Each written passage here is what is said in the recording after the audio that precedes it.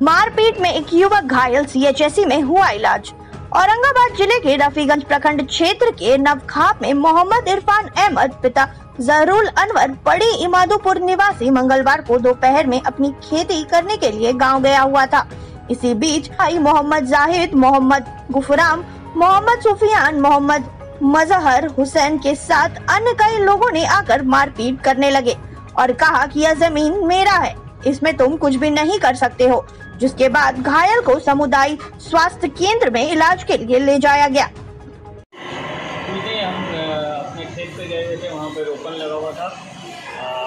तो रोपन लगा हुआ था तो हम लोग वहाँ पे खड़े थे और हमारे कुछ भाई लोग जो कुछ भाई लोग हैं जो लोग वहाँ पे कर रहे थे कि मेरा ज़मीन है तुम लोग कैसे कैसे करोगे और आकर के सब पाँच छः लोग मारना शुरू कर दिए।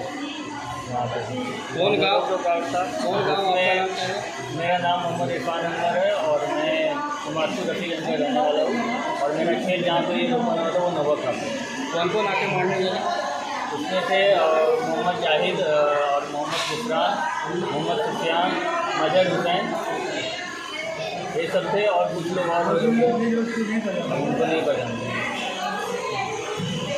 अपने बच्चों के नामांकन हेतु लॉगिन करें www.rpsbiharshariff.com बचपन इंडिया का फेवरेट प्ले स्कूल करवाए अपने बच्चों का फ्री नामांकन। पता डीडीसी आवास के पीछे Nalanda health club road Etwari Bazar Bihar Sharif Nalanda. अधिक जानकारी के लिए विज़िट करें